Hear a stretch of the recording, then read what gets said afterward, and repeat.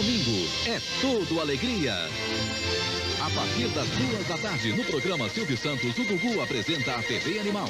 Curiosidade, o modo de vida dos cavalos, renas e hipopótamos.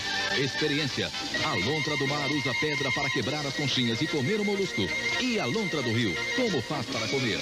TV Animal com o Gugu. Neste domingo, no programa Silvio Santos. É bom estar com você. Domingo é todo alegria.